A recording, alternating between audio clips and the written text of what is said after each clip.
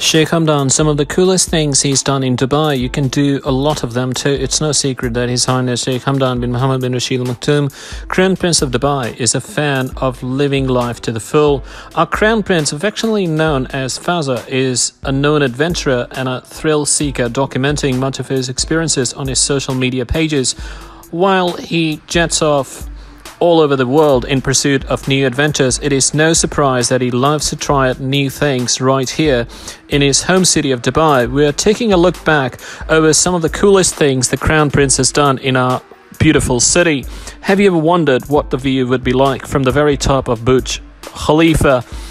Not just from at the top, but the tip of the spire, 828 meters into the sky. The Crown Prince did just that back in December 2020, taking to Instagram to share a video of his experience. The video begins in a narrow cylinder with a ladder up one side where Fazza can be seen harnessed up with a helmet midway up the ladder. We say cycled alongside an ostrich. Sheikh Hamdan and a couple of associates accounted the massive African birds whilst cycling. The group can be seen riding along a cycling track before an ostrich darts across the path of the Crown Prince and a second charges in front of another rider. Later in the video, as the two huge birds take the inside track. It looks as if the Crown Prince is racing against the majestic animals. Given that full grown adult ostriches can reach speeds of up to 70 kilometers per hour, this is no mean feet to mark World Turtle Day on June 16, 2020 in Jumeirah. Group's Dubai Turtle Rehabilitation Project celebrated by releasing 45 rehabilitated hawksbill turtles back into the wild. Additionally, 20 hatchlings were released from the Emirates Marine Environmental Group's Jebel Ali Reserve.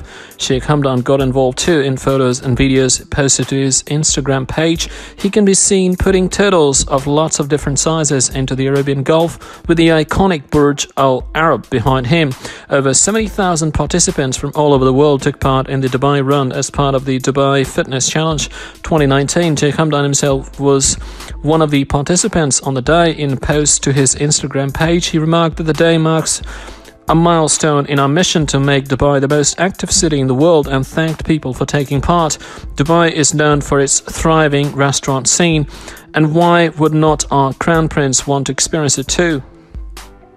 Just some of the restaurants with the royal stamp of approval include Avli by Tasha's, the Maine Land brasserie, Sal at the Burj Al Arab, Shanghai Me, and BB Social in DIFC. Greeks seem to be a favorite cuisine with both Sheikh Mohammed and Sheikh Hamdan popping at Gaia in DIFC.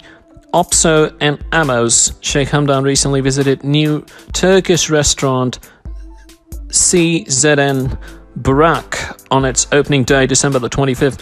What happens when a footballing legend meets our active crown prince? The train, of course. It is no secret that Juventus ace Cristiano Ronaldo and Sheikh Hamdan are buddies. They often meet up when the footballing star is in the city. Recently, Sheikh Hamdan and Ronaldo posted videos and photos to their own social media accounts of them working out together.